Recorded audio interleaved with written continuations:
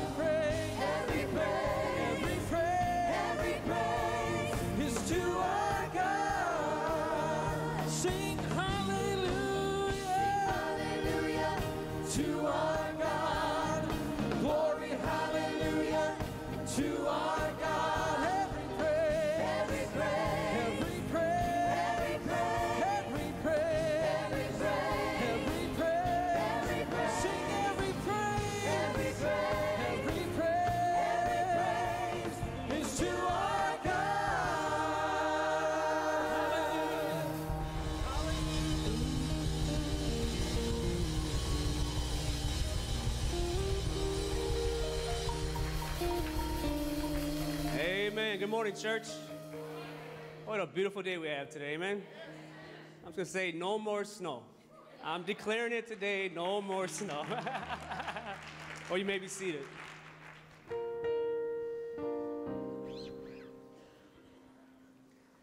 Amen. Well, we just want to welcome everyone, everyone here this morning. And if you're a first time guest today, we welcome you as well. We're so happy you're here with us today. Amen. My name is Jobaida Cruz, And my name is Eduardo Cruz. and like my husband said, on behalf of Parkway Church, we just want to welcome all of our guests here this morning. Uh, we know that God has something very special for you here today, and uh, when we welcome you, it's really a genuine welcome. Uh, we really want you to feel um, like this is a place where you can grow, where you can meet other people, and you can have what you are looking for in your relationship with Christ. If you're a first time guest, in the pew before you, there is a Connect card. If you can please fill that card out and meet us in the back by guest services at the end of the service, we want to meet you. We want to give you a gift. And uh, we just want to give you more information on what Parkway has to offer for you. If you're a second time guest, please also fill out that Connect card, but place it in the offering basket when it comes around. Amen. Well, let's pray for today's service. Uh, Lord Jesus, we thank you, Lord God. We're, we're so excited God, just to be here in your presence, Lord God. We come here with great anticipation, Lord God. All our praise is towards you, Lord Father. I ask you to just bless each one as a part of this service, all our guests, Lord God. We just give you the glory. In Jesus' name we pray. Amen. And now we'll announce the video. My heart ran wild and I followed close. Mercy broke down my every wall. I've chased this world, wandering aimlessly.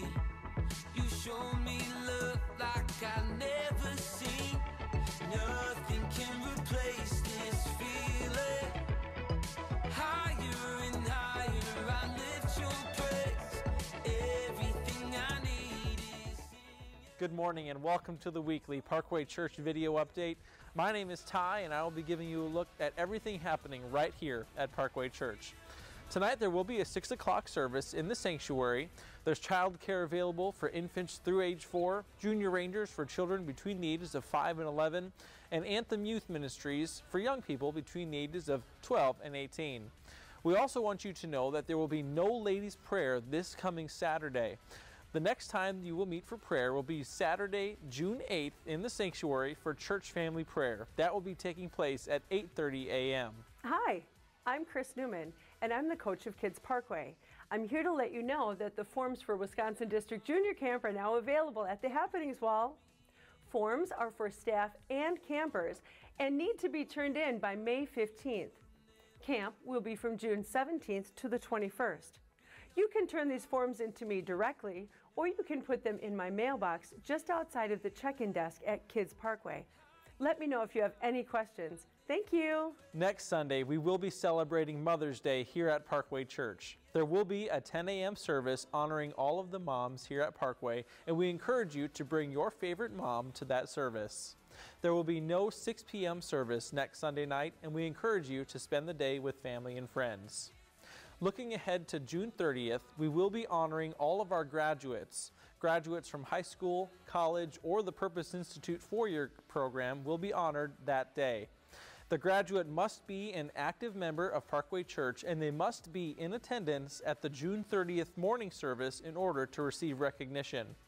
Please email your graduate's name and school to 4u at parkwayoc.com by June 2nd in order for them to be on the list. We are very excited to be having a vacation Bible school right here at Parkway Church this summer from July 8th through July 12th. It will be for children between the ages of 5 and 11 years old, and there is no cost for registration. For more information about VBS, you can see your 411 information sheet. As always, if you have any questions about anything that we've announced, you can pick up a 411 information sheet, stop by the Parkway Happenings wall, or visit us online at www.parkwayoc.com. Now, please enjoy this service. Amen. Why don't we all stand as we begin to worship?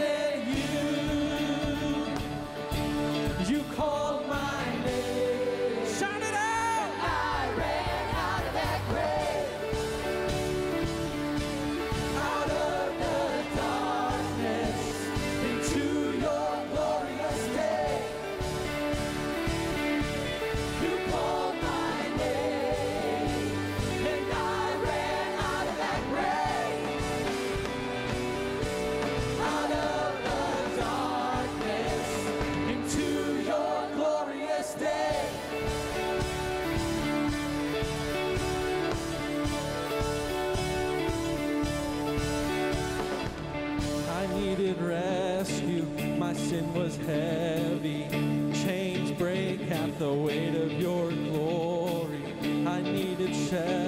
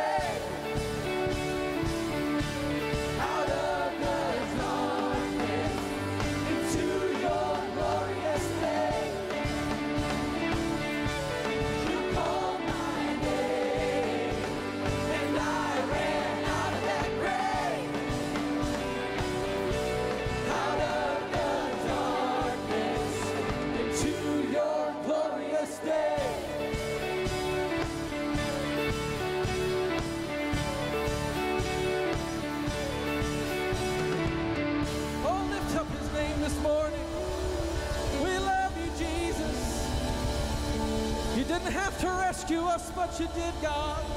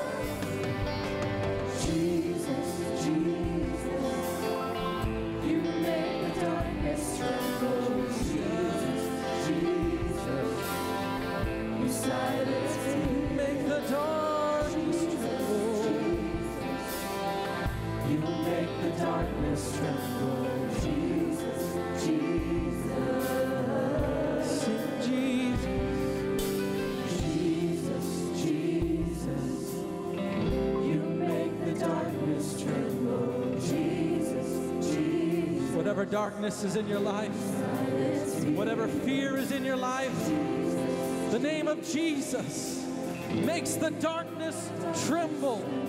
The name of Jesus silences your fears. Won't you say the name of Jesus over your situation? You might think that's silly. I don't think it's silly because there is power in the name of Jesus. Just saying the name Jesus can cause demons to tremble, it can cause chains to break, it can cause sickness to be healed. Won't you speak the name of Jesus in your life right now? Find somebody and speak the name of Jesus over their life. You don't know who needs to hear it. I don't know who needs to hear it, but we're going to say it together. We're going to say the name of Jesus because at the name of Jesus, we know that every knee will bow.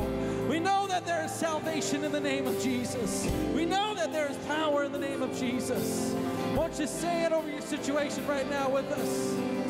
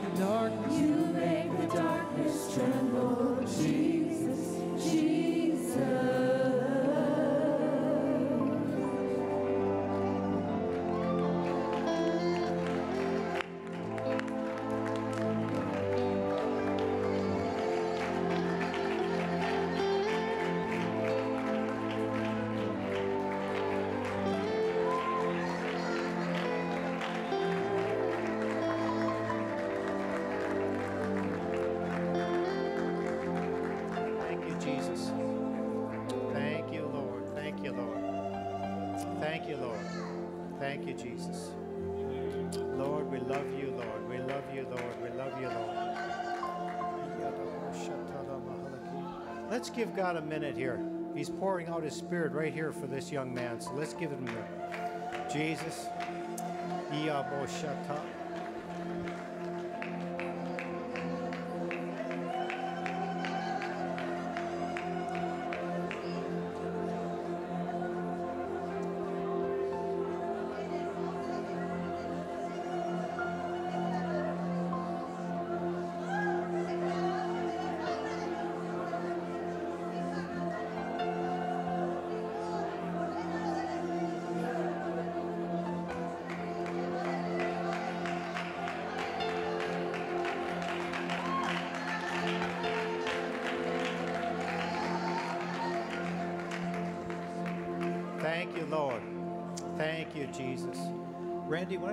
Prayer room?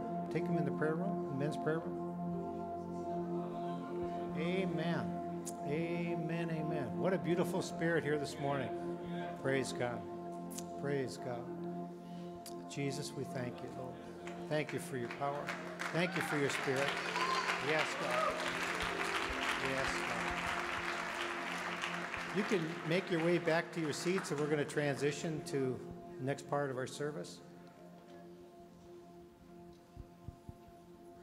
Thank you, Lord. Thank you, Lord. Thank you, Lord. Hallelujah. Before we go into that, though, I think someone had a birthday this week. You don't want to. If you could see Sister Melissa's face right now. Here, hold on, hold on to a second. But um, if you could present her with the flowers, but we're going to sing happy birthday. You don't want me to sing, though, I guarantee you. Ricky? Ricky? Happy birthday to you. Happy birthday to you. May you feel Jesus near every day of the year. Happy birthday to you. A happy birthday to you. And the best you've ever had.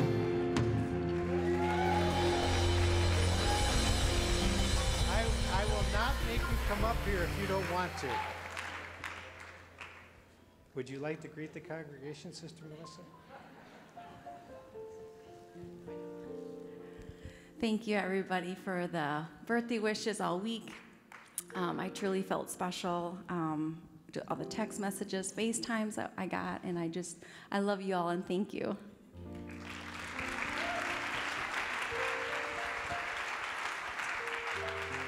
Amen.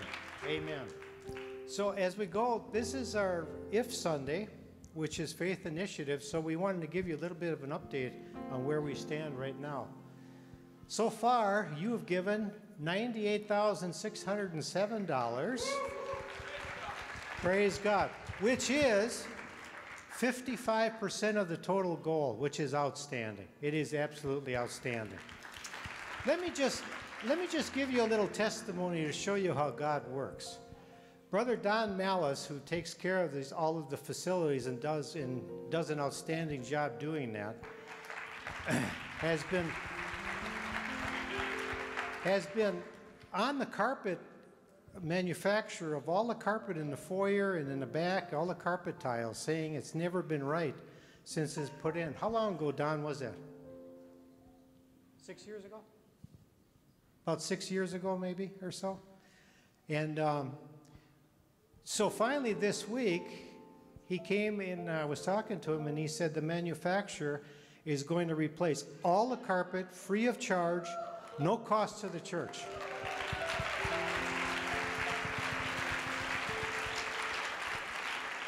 See, when we take care of what God wants us to do and are faithful in our tithes and our giving and giving out money to missionaries and taking care of those outside of the church, God will always take care of his kids. That's the promises in Scripture. All we have to do is be faithful. Isn't that easy for us to do? Amen. Amen. Also, one other thing this is the 47th anniversary of this church. Amen.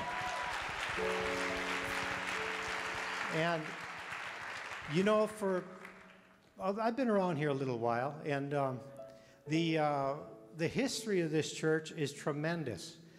From a, from a small congregation in a home in South Milwaukee with, with borrowed chairs to see what God has done in 47 years.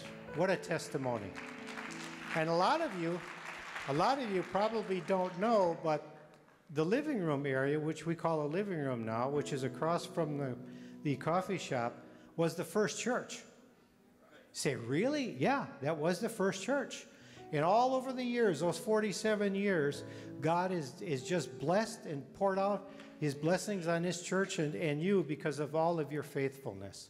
So there, we have a lot to be thankful for, folks. We really do, and God's blessings. Um, the if, some of you may not know, but if is the way that we give out to missionaries, to uh, benevolence, and that's the way we collect funds. So you'll notice in the church we do no fundraising.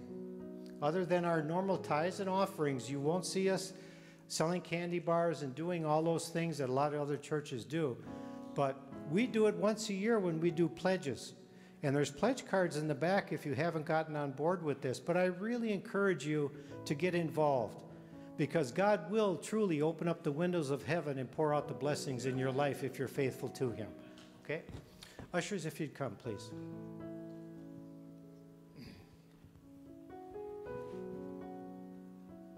You know, being around here so long, I've had the, uh, the opportunity to see the blessings that God does for us, you know.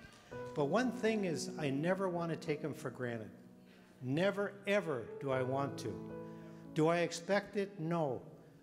But by faith, we can claim it. Amen. Let's pray. Lord, we thank you, Lord, for your spirit this morning. What a wonderful place, what a wonderful spirit it is in here today, Lord God. Lord, as we unite together, Lord God, I pray, God, that you would use Pastor to deliver the word, Lord, and that you would fill many with your spirit this morning, Lord God. Lord, as uh, people given the offering today, and for those who can't give, I pray, I pray, God, that you would bless them. You know, let us be sensitive, Lord, to those around us, Lord God.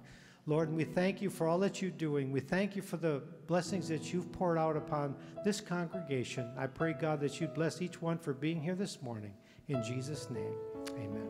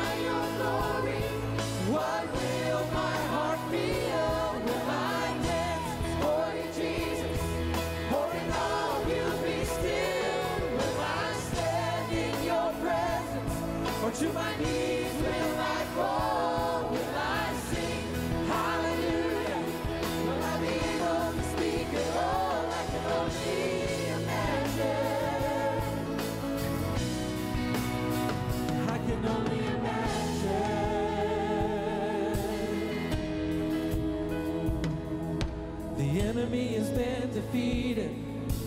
Death couldn't hold you down. We're gonna lift our voice in victory. We're gonna make your praises loud. The enemy has been defeated. Death couldn't hold you down. We're gonna lift our voice in victory. We're gonna make your praises loud. The enemy has been defeated. Our voice in victory. We're gonna make your praises loud. The enemy has been defeated. Death couldn't hold you down. We're gonna lift our voice in victory. We're gonna make your praises loud. Shout out to God with a voice of triumph. Shout out to God with a voice of praise. Shout out to God with a voice of triumph. We lift your name up. We your name up. Shout unto God with a voice of triumph. Shout unto God with a voice of praise. Shout unto God with a voice of triumph. We lift your name up. We lift your name up. Shout unto God with a voice of triumph. Shout unto God with a voice of praise. Shout unto God with a voice of triumph. We lift your name up. We lift your name up. Shout unto God with a voice of triumph.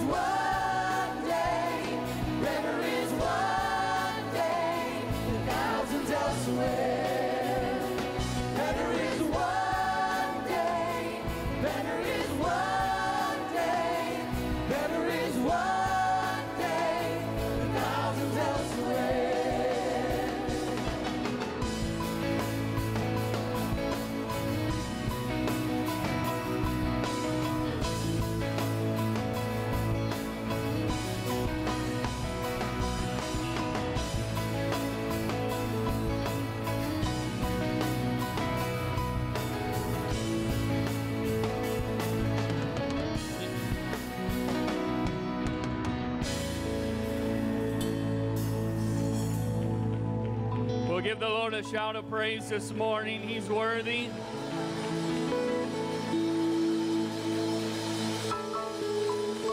God, we worship you, we exalt you, we magnify you. There is no one like you. There's never been anyone before you, no one will be after you. You reign supreme, eternal, immortal. You are the only God. We exalt you,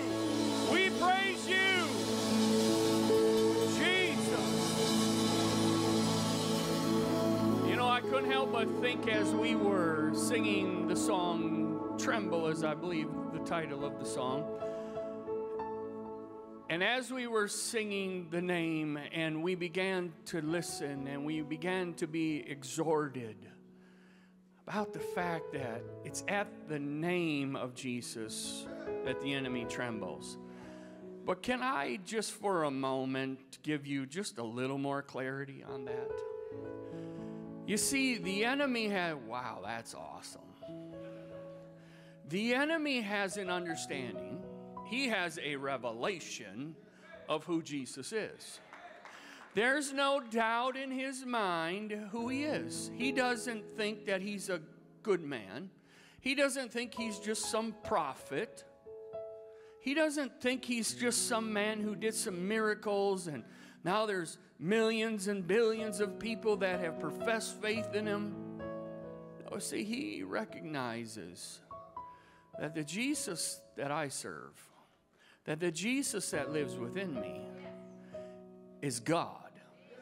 Now, let me just help you with something, okay? I, I just, I feel like sometimes we, we forget. The Bible says that if we resist the enemy, he'll flee. If he will tremble having an understanding of the revelation who Jesus is, let me explain to you why he trembles. It's not because he knows that Jesus is God. He trembles at the fact that he's afraid you're going to figure out that Jesus is God. He trembles at the fact that you're going to get a revelation of the power and the authority and the dominion that you have when you speak the name. You see, it's in the situation when you plead the name, when you call out to the name, that he will flee. He's not trembling because you say Jesus. He's fleeing when you say Jesus. He's trembling because you have an understanding of the power in the name. And so I would tell you, I would just say this to you. I don't, it doesn't matter if it's a sickness, it doesn't matter if it's a temptation. Can I just promise you, you try this the next time. You, you try this the next time you're tempted with evil. Okay, let, let me just break it down a little bit here. I'm feeling spunky this morning. The next time you're tempted in a group setting with folks and somebody says, Hey, would you like a bud? Bud? I dare you to just say, Jesus. I'll bet. I'll just bet. They say, I never mind. And I'll bet they never ask you again. I'll bet. I'll bet the next time you're hiding in private in your home somewhere. Oh, I'm going to get ugly here. You're hiding in private somewhere, and the family's in some other part of the house, and all of a sudden that website comes up. I dare you to scream Jesus. You see, the devil's not trembling because you have an understanding and that you might say something. No, see, what he's trembling is if you actually get to the fact that you put the name in action in your life, he's going to have to run because I guarantee you, if you're doing what you ought not be doing and you yell, Jesus, there's going to be a whole lot of people come running to find out what happened.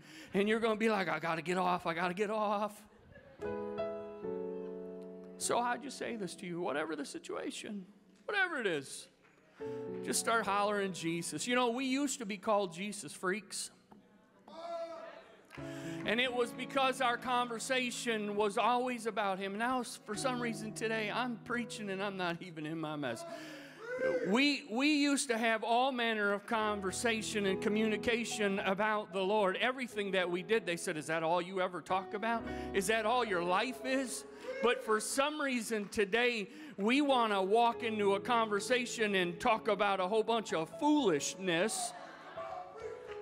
And we say it's so that they'll feel comfortable when the reality is it's so my carnality will feel comfortable. Well, anyway. Luke chapter 24. Luke chapter 24, verse 32, and then I'm going to read Acts 28 and verse 27, and I'm going to, I'm going to preach a message today. But before I jump into that, uh, I'm not going to preach my second sermon. Uh, I am going to honor my wife this morning as well. Uh, I, and you don't have to clap for this, um, but I will just say this to you. Men, if you have a wife that'll pray for you, if you have a spouse who will pray in tongues for you, you ought to appreciate her. And if she don't, don't suck your thumb about it. Maybe be a husband that'll pray for her and pray in tongues over her. Hmm, I need to be careful, but baby, I love you. I'm proud of you. I am not me without you. And this church is is uh, better because of you. They would be in miserable shape if it was just me. So thank you for being the softness and the gentleness and the sweetness to all my vinegar and my rough edges. So we love you. Uh, Luke, the 24th chapter, scripture reads this way And they said one to another, Did not our heart burn within us while he talked with us by the way? And while he opened to us the scriptures, Acts 28, verse 27 from the Amplified, For the heart, the understanding, the soul of this people has become dull, has become calloused. In other words, their understanding, the very essence of who they are, has become calloused. It's become resistant to the Spirit, to the presence, to the understanding of God. And with their ears, they scarcely hear. And they have shut their eyes to the truth. Otherwise, or you might say, if this was not the case, they might see with their eyes and hear with their ears and understand with their heart and return to me. And I would heal them. This morning, my title is taken from your journal that you will be getting into beginning tomorrow. And the title is simply Hearts on Fire. We are moving from Calvary to from the resurrection to this period of waiting, about to begin the pursuit or the moving, if you will, toward the day of Pentecost and the outpouring of the Spirit. So this morning I'm going to deal with this topic hearts on fire. Let's pray together one more time. Gracious Father, we love you and we thank you for your faithfulness to us. You today, and we thank you for, for being in this place, for being in this house. Where would we be without you? Today, God, we, we most certainly need and have, we have a desire. That you would be with us, that you would come and you would minister, that you would have your liberty amongst us. Or this morning, we have an understanding. We have the revelation. We know who you are. We know that you have come. We know that you have filled us with your spirit. And so we, we represent you in everything that we do. But today, I pray, God, especially that you would bring to us a fresh revelation, that we would be reminded, Lord, of the power that we have in right relationship with you. That we would have a revelation today of what it is that you called us to, of what you have redeemed us from, and what you have commissioned us to. I pray for every guest that's in the house this morning. Lord, that they would feel your love, that they would feel welcome by this family, that they would know that they've come home, and that you are here to love them, to bless them. I pray, oh God, that there would be a moving of your spirit among us this morning, that we would be restored, we would be reconciled to you, and that those that have not yet been baptized in the name of Jesus, that have not been filled with your spirit, that today, that their faith would be strengthened, that they might receive from you. In Jesus' name we pray. Amen. You may be seated this morning. Just wave at me if you have too much difficulties and you want me to go back. I'll go back, I promise. Okay. A couple of weeks ago, I delivered to you the what would be considered the culmination or the crescendo of Christ's passion with the message entitled Total Triumph. We were reminded of the total and complete victory that Christ secured on that resurrection day. On that resurrection morning, we were reminded that He had come out of that tomb with all power and all authority. He was alive forevermore, and nothing could diminish His power nor debate His authority. He had secured our liberty from death and from hell. He secured the possibility of no one ever needing to miss heaven as their home. We were given the revelation of a risen Savior and the eternal hope for our lives. But this morning, for just a little bit this morning, I want to go back, if you don't mind, to that third day. The day we celebrated and live yet today in its promise of life everlasting, filled with joy and with peace. I want to go all the way back some 2,000 plus years ago and join ourselves to a journey and conversation of two disciples making their way to the city of Emmaus. For I believe it is within their experience that we will find a similarity that oftentimes many of us are experiencing in our present lives. So it's here in the 24th chapter of the book of Luke that we find the account of these two believers making their way along the road to Emmaus, a city that scripture gives us that was some seven miles from Jerusalem, nearly. We do not know much about these two other than they were obviously believers, they were disciples, and one was a man by the name of Cleophas. Has, it has been debated by the commentators that it was two men walking along. It, was, it has been debated that it was Cleophas and his wife who is mentioned to be near the Lord at the time of his crucifixion. It would seem, though, that whoever it was with Cleophas, that this was a time of great sadness for these two as they traveled discussing the recent events and what would appear to be the unfulfilled dreams and promise of the one that they called, that they knew as the Messiah. Their hearts were filled with discouragement and their minds were perplexed for the one they believed to be the Messiah, the Savior, the Restorer, Jesus, the Son of the living God, was dead.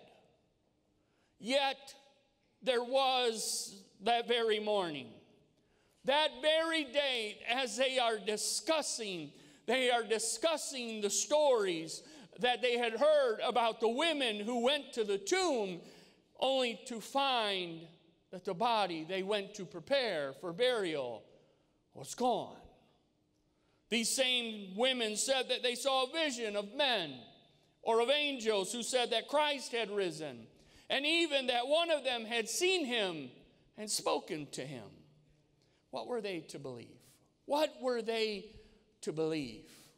The questions and perplexities that are confronting these two believers are in many ways the same things confronting us in our own personal challenges and situations. We face the questions and the challenge of what it means to be a Christian, what it means to be a believer, what it looks like to be this, what does it mean when I say that I am following Christ? What does it mean that I trust Him?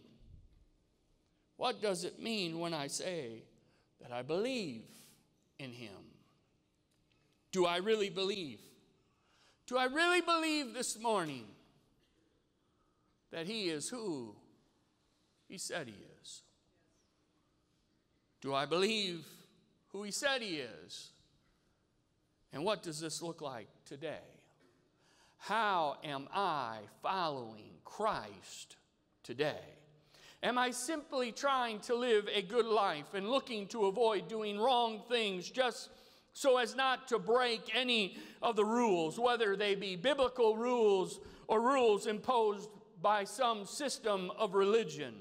Are we trying to live what we think or have been told is the lifestyle of a believer, of a Christian, or have our lives been truly transformed by a powerful, a miraculous, a personal encounter with Jesus Christ? This is what takes place in the lives of these two believers as they are traveling the road to Emmaus. Their lives are about to be forever transformed by this encounter with Christ. It's an encounter that today that I'm praying that every day going forward that this transformation this encounter would happen to us beginning this morning and forever transform our lives in all of our tomorrows. An encounter with Christ that will no longer allow us to say, I'm a believer. I'm a follower of Christ. I'm a Christian. I'm a Christ follower. But our lives show that this means seemingly nothing more than simply leading a morally restrained life where I restrict myself from doing bad things. The scripture talks about people who have a form of godliness but deny the power thereof. Now, that scripture's been used in context, out of context, around the context, in all kinds of ways. But there is a lot of us that profess to be something with our mouths, but our lives exemplify something entirely different. Well, you don't have to believe me. Some of you do, but it, just bothers me. Now, I'm a generally positive person. My wife says that in the mornings I'm probably too positive and too filled with joy because I'll get out of bed and I'll have a song in my heart. Go figure, right? I'll have a song in my heart and I'll sing and I'll bother everybody. My daughter is so thankful that she has her driver's license. I don't know if she's in here this morning. Maybe she's probably hoping she's in Sunday school. But she's probably glad she has her driver's license and she can drive herself to school by herself. Because on the way to school, I would read Bible scriptures. You know, I'd be quoting them. I'd sing a song. I'd be poking her. You ready to have a good day? Why ain't you happy? You grumpy today? And she's thinking, I want to knock you out. But I believe that if I am going to be a Christ follower, that I ought to be able to go into whatever the situations are that come into my life.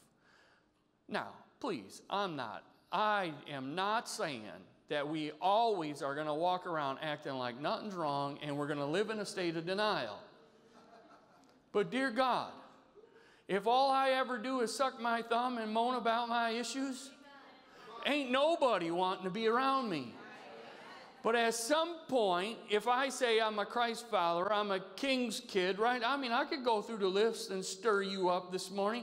But at some point within that, I need to begin to remind myself who I am and say, well, then maybe it's possible that I'm here by God's design. And I might not like it, and that might be a good thing that this might be uncomfortable and it's causing me to think, well, if something don't change, I'm going to have to change. Well, hello. I better get back in my notes. I'm sorry. But we should have this kind of encounter with God that changes not just our speech, but the very manner of our lifestyle. And please hear me this morning for all of you that just went into full freakout mode. I'm not telling you that I'm going to stand up here next week and give you a whole list of laundry items that I think you ought to stop and start doing. But really, to have a personal encounter with Jesus Christ, the Spirit within you ought to begin to dictate things within you that you say, I got to make some adjustments. So it has to be more than me just saying, I'm going to live a good life, a wholesome life. There's a whole lot of good people that are going to go to hell. Sorry. Because it's not by works that I have done. My righteousness or my good living is as filthy rags. It's says a dung heap to God. He don't care about that. He wants to know, have I been born again? Have I been born into the family? So it should not mean that as a Christ follower, as a believer, as a disciple, that I am simply you. Uh, should I switch? Is this really, is my microphone? So having this encounter with Christ should not just simply cause me to say that I am a disciple of Christ, a Christ follower, a believer, and, and so I make some conscious decisions and try to live a restrained life, but rather that I might live a life that shows a transformation that has come from a supernatural encounter with the Almighty God, that allowed me this moment, this opportunity to have spiritual new birth, where I am. And watch this. This is awesome. These kind, these phrases in Scripture light me up every time. Where I am not the one I used to be, where I'm no longer who I once was, that the things that I once did the things that I loved, I now hate those things, but the things that I didn't really care for so much before, now I love it, them and I ascribe them to my life. It has changed everything about me to where the scripture can testify of my life that the old things have passed away and all things have become new. I'm here to tell you this morning if you are in relationship with God, honest, and complete relationship where you have had a personal encounter with Jesus Christ, you will be changed. You will go to the job tomorrow and people are going to say, What's different about you? How come your language is changing? Oh, you're too good to go out with us now. Oh, trust me, I've heard it. And they'll look to find ways to make you seem like a hoity toity, right? Oh, holier than thou. You think you're better than everybody else. Nope. I just realized and recognized how miserable I was before Christ. And you've got to be careful who you say this to, but you don't like it because I'm causing you to recognize it in your own life. See, what happens is, is when God begins to do the work in our life as a result of an encounter with Him, we become a mirror in the lives of other people. And when we walk in being what we once were, but now being something different, being transformed by the Spirit, all of a sudden they begin to look into our lives and they say, uh oh, something's different. They may not understand what it is, they may not understand why they feel that way, but what they do realize is they're uncomfortable, and so there's a problem. They don't like it and they need to push it away. So I must, if I have an encounter with God, there must be a change that comes to my life. So these two believers, these two people are walking along the road on the way to Emmaus, and they're discussing these recent events. And maybe, just maybe, they were remembering when they saw Jesus perform one of his many miracles. Maybe they were there when John the Baptist stood and declared, here is the Lamb of God that takes away the sins of the world. Maybe they were remembering the times where, with just a spoken word, the sick were healed, or the dead raised back to life, or the demonic, that, the, the individual that was possessed of a demonic spirit was now liberated by the spoken word of the Almighty. Maybe they were remembering all the times they traveled in the way with Christ and He would share great revelation with them from the scriptures, or maybe they were, as we read, talking about the events of that day an empty tomb, his body missing, stories of him being risen to life. Here is what we do know no matter their conversation, no matter what it was they were discussing, it is at that moment that we find Christ joining himself to them. Verse 15 is where Christ comes and makes this connection. And the Bible says that as they were discussing these events, these happenings, that Christ joins them, but their eyes were unable, or the scripture says, prevented from seeing him. They were not able to recognize that God Himself had just joined their journey. Jesus is with them, but they don't recognize Him. Jesus is with them, but they don't perceive that it's Him. How many times does this happen to us? How many times is it that the Lord would come to us, but we don't realize His presence has entered our space? How often do we find ourselves in a trial or a difficult situation and find it hard to imagine that the Lord is actually with us? How many times is it that it's not even about whether or not we have faith in God, but rather it's about that we didn't even consider Him in our trial or our difficult situation? And as a result, we find it hard to imagine that He's actually even with us. How many times? How many times in the situation is it not that my faith is weak or absent, but that I don't even take the time to consider Him within what I'm going through? We just do not or have not thought about him? Is it possible here in this account of these two travelers that the Lord allowed their eyes to not recognize him so that the truth might be revealed to them? That the condition of their hearts would be made known, that there might be a transformation in their very lives, to help them remember what they had been taught and what they had believed. This to me is such a beautiful story of the compassion of Christ, the compassion of our God, in that he joins their journey, and Luke makes record that as he's walking with them, that he makes reference to their sad countenance. He makes reference to their disposition. I'm thankful this morning that I serve a God who can be touched by the very feelings of my infirmities, by the things that I'm struggling with. He can be touched. He can be moved with compassion by the things that I'm going through. I'm thankful to know that He's promised never to leave me. But I wonder sometimes if I forget about that promise. I'm thankful that He promised never to forsake me. But I feel like an idiot because there's many times that I don't even consider the fact that I'm not by myself in my trial, that He said He would never leave me nor forsake me, so He must be here somewhere.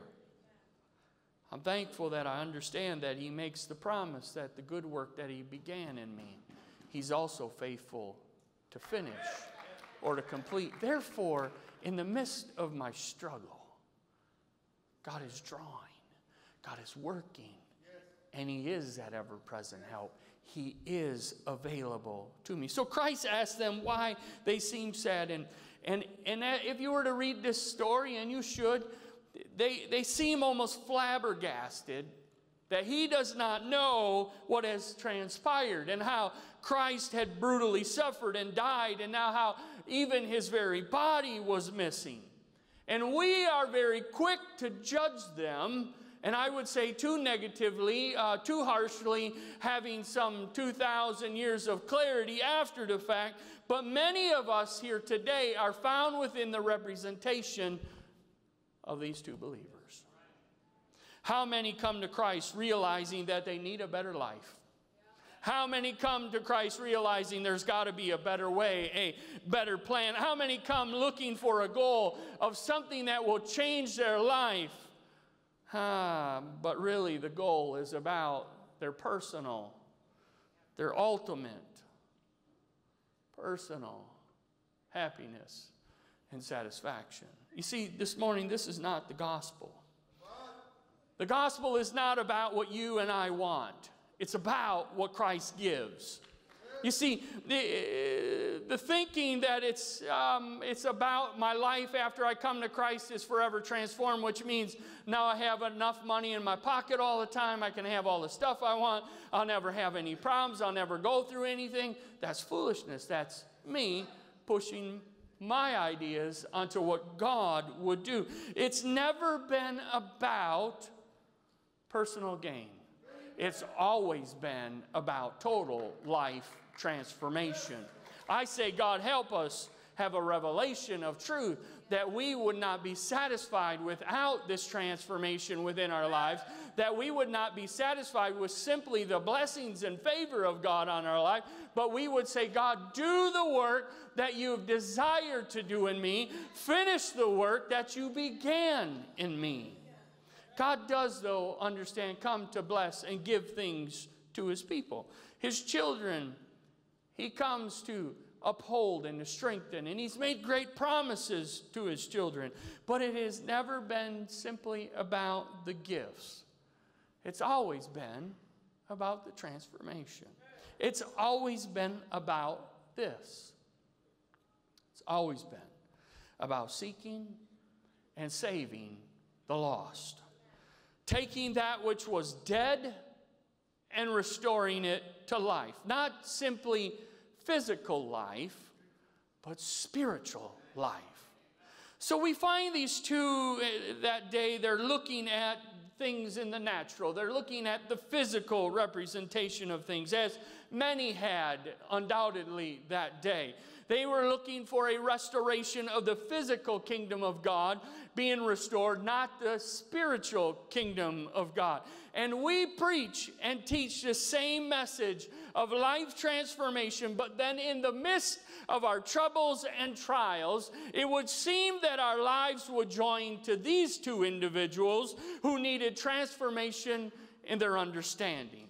You see, Christ came, his goal was to seek and to save that which was lost, and gave us, as his people, as the redeemed, a commission to do the same. We, as the church, as the body of Christ, have been redeemed and commissioned. Please understand that today.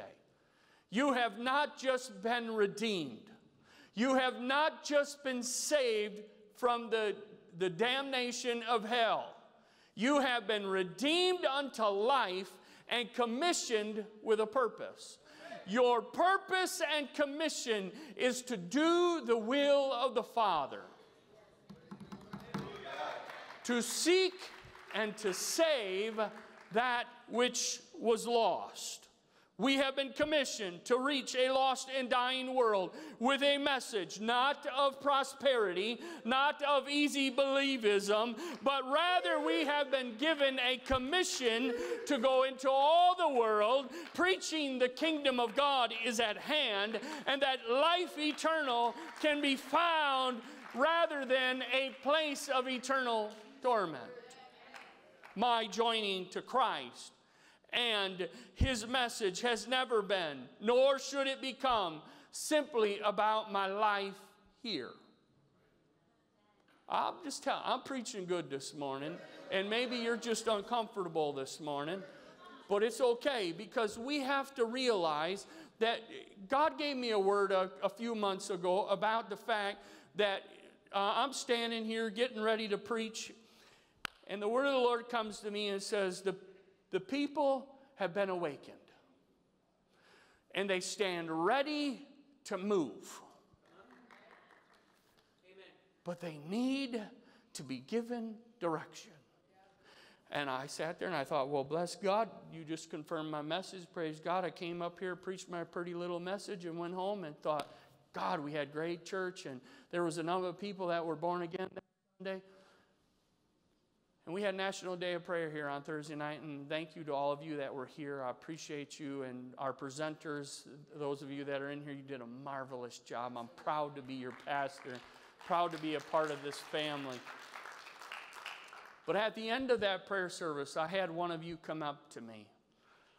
And I don't I honestly do not know if this individual has ever been used in the gifts, whether the vocal gifts uh, in any way before or if they have a desire to. But this individual came up to me and began to talk to me about something different. And then I think really there, there was an intention there, but all of a sudden in the spirit got comfortable and was reminded of something.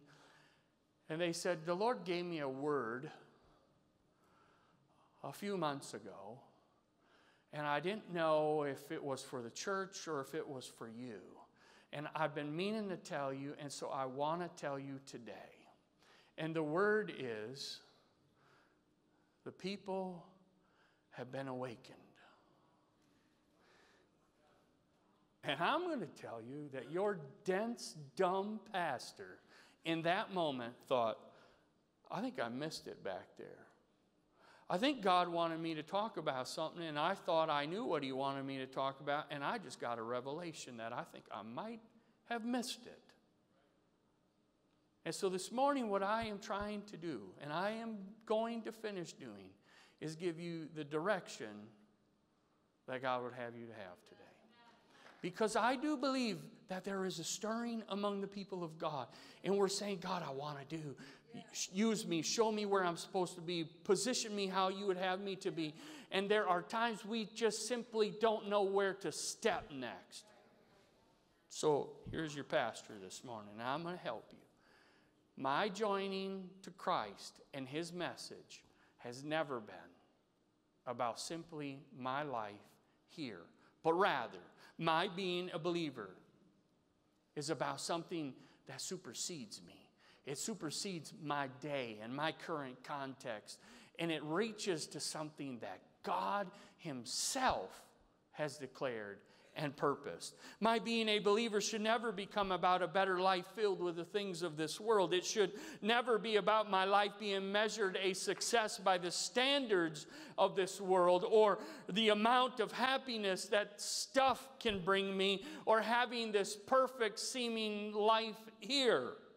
But rather, I must always allow myself to be reminded that this has always been and always will be about a relationship restored with God and a commission to reach others that they might do the same.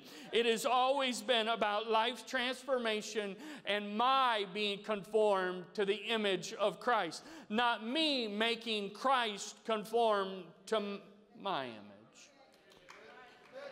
Is it possible this morning that we are like these two believers, that we might hear the Lord speak to us, calling us fools?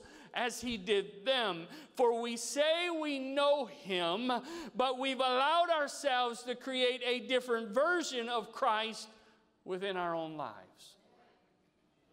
We quote the scriptures, we say right things, we, we have good theology but our lives no longer manifest that transformation at, that we experienced at the beginning. There is seemingly a lack of willingness for sacrificial commitment to the cause of the kingdom. The love of Christ has always been about real and true relationship with God, a continual relationship that brings true transformation in our lives. And yesterday, as I was working over my message, I felt the Lord deal with me specifically about something, and I changed the end of my message for this. As you heard already this morning, we are celebrating this week 47 years of the history and existence of Parkway Apostolic Church. I don't have my beginnings here. I don't have a lot of change in my pocket, really, if you were to say, well, time and tenure breeds influence and brings you, you know, respect and garners you power and authority. I don't have that. But I wonder, having an understanding of the great history that we have, if even with all of this history, that we find ourselves today like these two believers on their way to Emmaus, and that something is not complete within us. I want to remind you of some things this morning. This church was founded, it was established as a soul winning, Bible study teaching, disciple making church through which lives were transformed and made new. And I believe that there's a whole bunch of you that could have, in that moment, got as excited about that as you did anything I said before. Because if it was not for what happened as a result of this church, you would be just like me, some dirtbag outside of this place with no hope no future. Some of you would already be dead. You'd probably be in jail. Your lives would be a complete mess. But because this church was founded as a Bible study teaching, disciple making church, transformation came.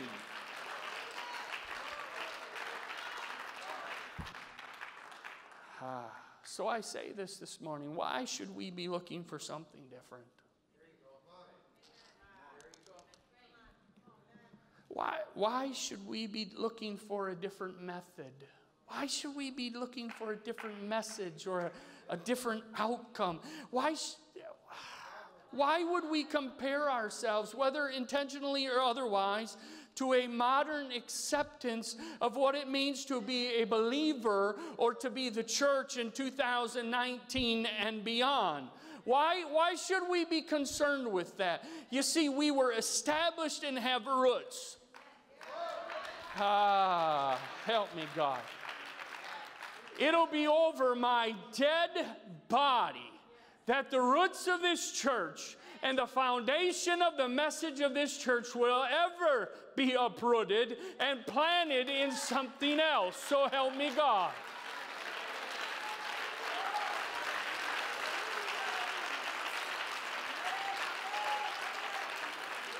The story of these two believers, they walk with the Lord, undoubtedly a day's journey. And they get to the place where they say, It's getting to be night. We should turn in here and abide for the evening. And the Bible says that the Lord would have continued on the road to Emmaus. Well, have a nice day. Nice talking to you guys. See you later.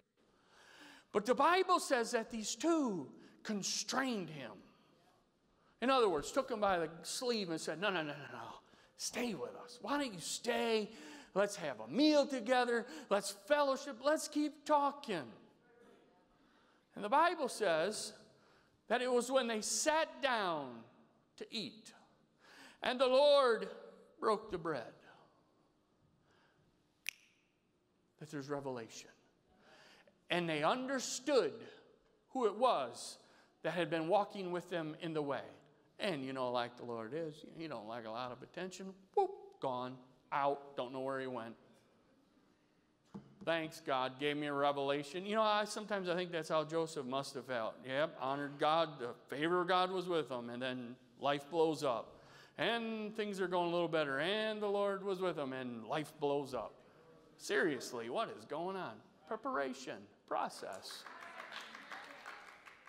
If only I could figure this out. So the Bible says that there is this revelation that comes, and they make this statement Did not our hearts burn within us while we talked, while we communed, while we walked in the way? This morning, what is it that we have been called to? What is it we've been called to? Intimate relationship with Christ. And the duty, the duty, it's a privilege, but it's a duty.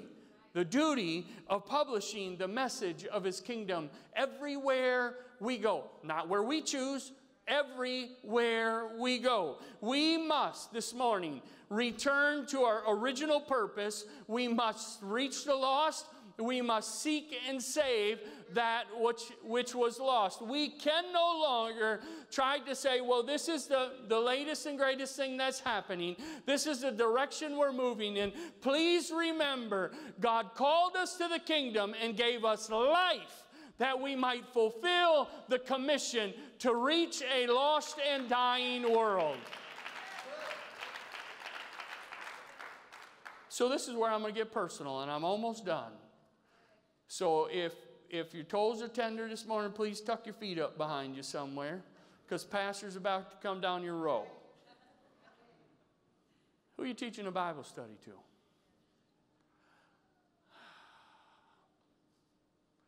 See, one thing you'll learn about me, I don't mind awkward pauses because they ain't awkward to me. So, who are you teaching a Bible study to? I'll tell you what, I'll give you a little bit of an out. Maybe you desire a Bible study, but you say, I'm building a relationship with somebody to get them in a Bible study. Awesome. So let me ask the question a different way. Who are you intentionally building relationship with for the specific purpose of teaching them a Bible study? Who are you praying for. God, help me reach them that their soul is not lost for eternity. I, I told you I'm coming down your road. There are days that I am so convicted that I'm doing everything right administratively in my life. Things are good, everything's in order but I've lost my focus. And I can come in contact with people and walk away from them and somehow not care that they're going to hell. Well, actually, let's be honest. I care about everybody. I don't want anybody to go to hell. It's just in the moment I justify my not communicating to them because I say, it's probably not the right place Probably not the right time. They probably won't receive it f- from me, so maybe God will send somebody else to them. God, give me a burden.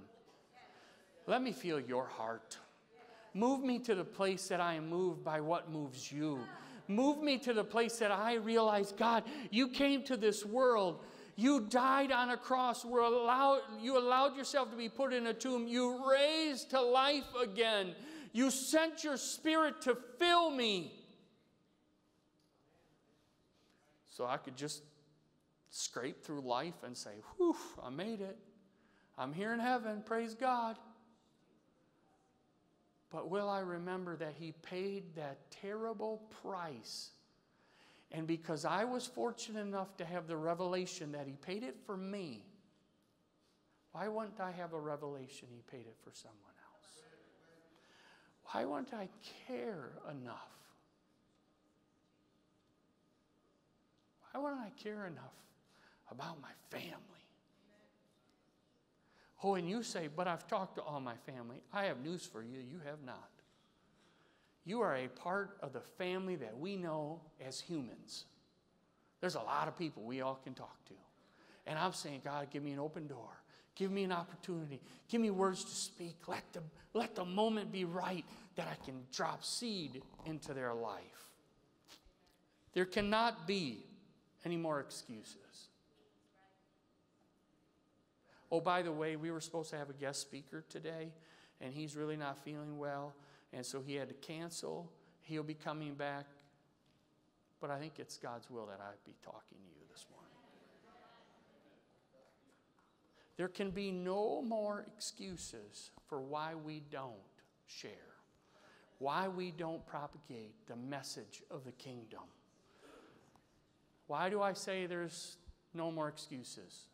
Time is short.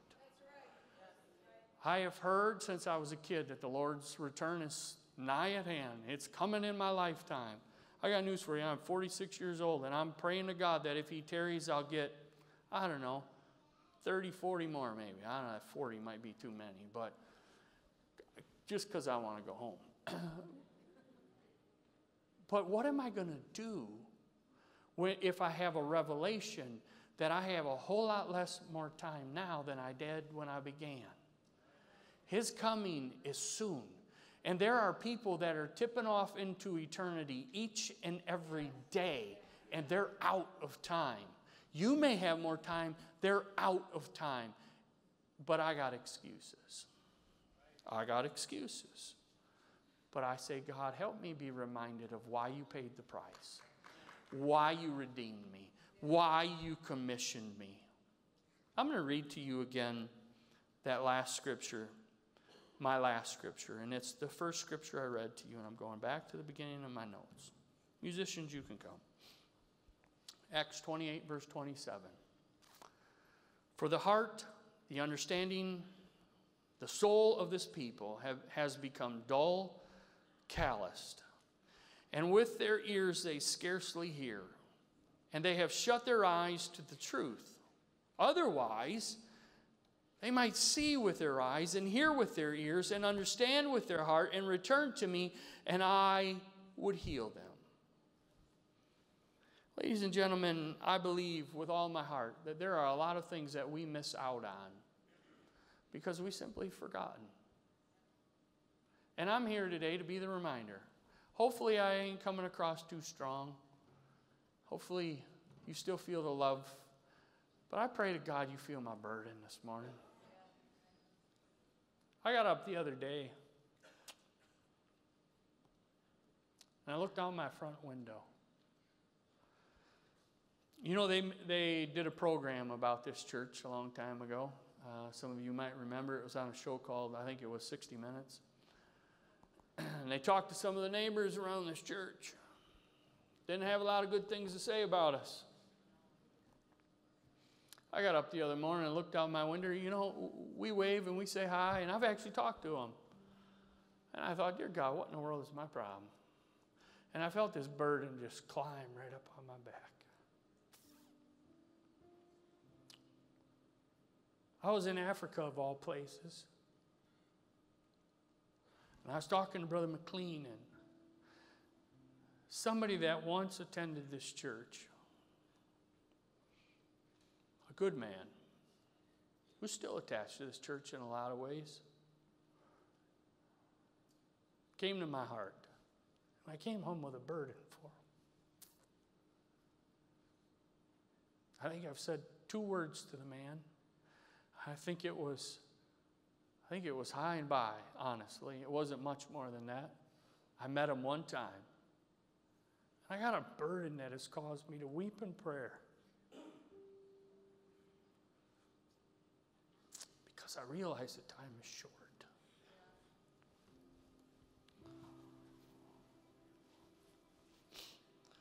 You see, these two people, they are on their way to Emmaus. And they're rehearsing everything that they knew. But the fire had went out. See if they really believed.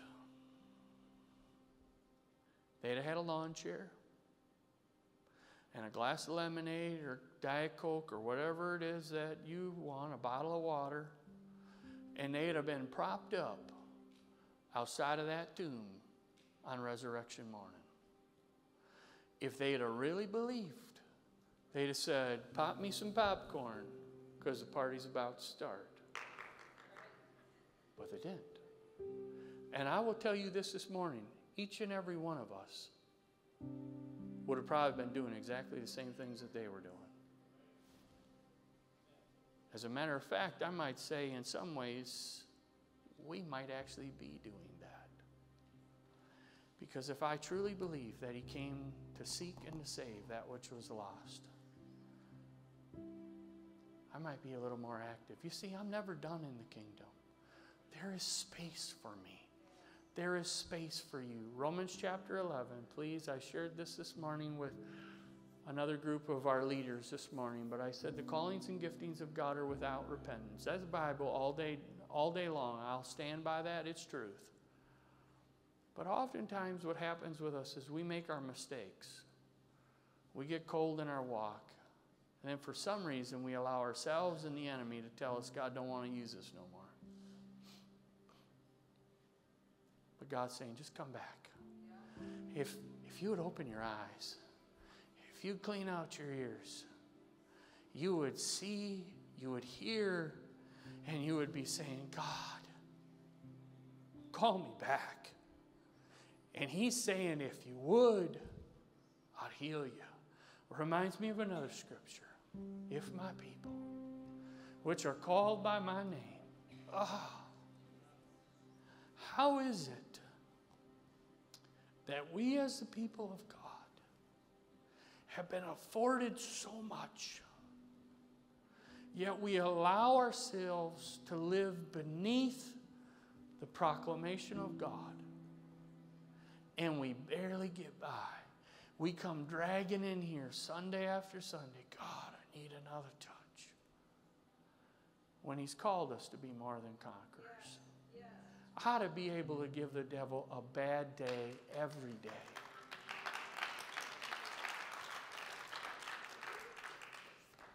But it's not because he's better than me that I don't get to. It's because I forget who he's declared me to be. I forget what he's declared my purpose to be. There's a song we used to sing, and I think we still probably sing it.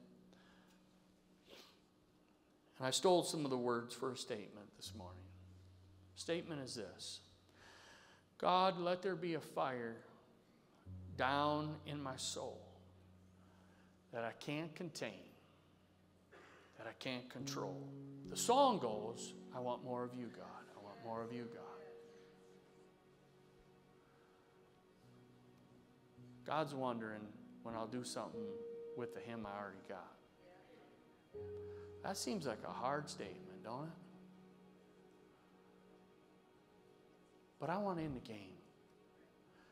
I want to know that I'm doing a work for the King of Kings and the Lord of Lords. I want to know that He looks upon me and He says, That's my servant. I want to know that I'm going to stand before Him and I'm going to hear, Well done, thou good and faithful servant. Our message must be His. Come unto me, all ye that are weary and heavy laden, and I will give you rest. All. Let my message be to all. There is but one door into heaven, and it's Jesus. And this morning we have an understanding that unless you are born again of water and spirit, you don't get in. It's not my statement, that's His word. Therefore, can I be placated? Can I feel okay with, well, they love Jesus? Well, if I love them and I love Jesus, I'll expound the word more perfectly to them. Stand with me this morning. Revelation and salvation are available for each one of us today. I fully anticipate that some of you will come to this altar. Some of you will probably hit the door. Some of you are probably, because I said hit the door, are probably already thinking, ah, if you wouldn't have said that, I'd already been out the door. Sorry. Not really. But if you are here today and you've never been baptized the Bible way, you can be today. If you've never repented of your sins, if you've never if you've never heard that God loves you so much that he desires relationship with you, I want you to know that God loves you so much he desires relationship with you that he came and died and rose again for you to have life everlasting. But it requires on each and every one of our parts an awareness that we are a sinner. Newsflash.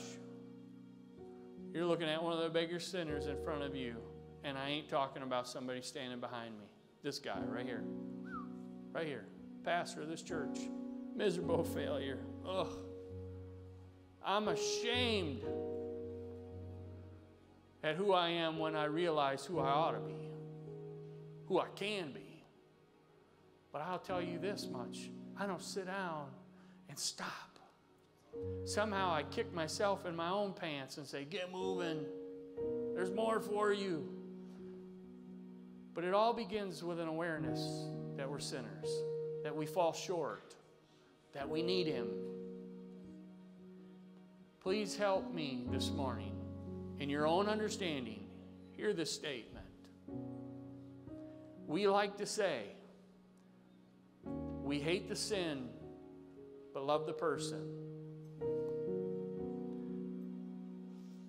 God hates the sin, but loves the sinner. And somehow we create space for folks to live in sin. Every individual will stand before God and be judged according to their sin or the sin that's been covered by his blood. God won't remove the sin from an individual, judge the sin, and then let the individual off scot free. We will each be judged. There's a way to escape that. We say, God, I'm a sinner. I need you. Forgive me. I want to live my life for you. I want to serve you. I want to honor you. And I promise you, He forgives you in that moment. There's a baptistry here filled with water. Nothing special, just water. Oak Creek water. Expensive water, really. But it's just water. But the Bible says that we should be baptized, calling upon the name of the Lord, that our sins might be remitted, that we might be cleansed. The Bible way is to be baptized by full immersion in water, having the name of the Lord Jesus Christ called over you. If that is not how you were baptized, if you don't know how you were baptized, there's a good chance you weren't baptized that way. I'm telling you, we'll make space for you today. If you are here today and you desire to have God's Spirit dwelling within you, it's a promise of His Word. He'll fill you with His Spirit and you will begin to speak with other tongues as His Spirit gives you the utterance. That can happen here today.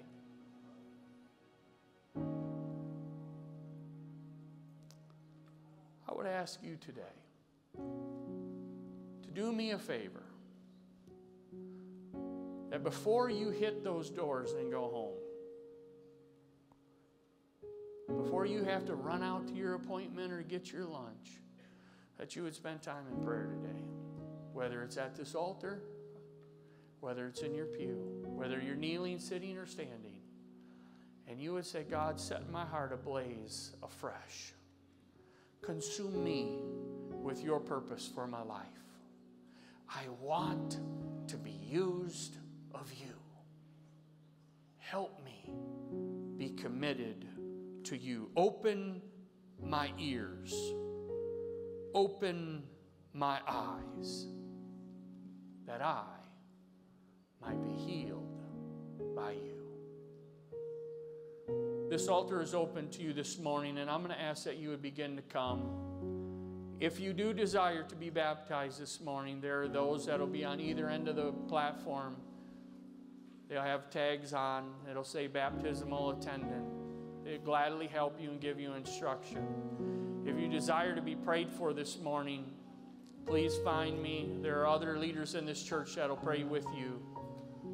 But do not leave this place the same way you came here today. God is desiring to do a greater work in your life. Find someone, pray with someone today. The Lord bless you.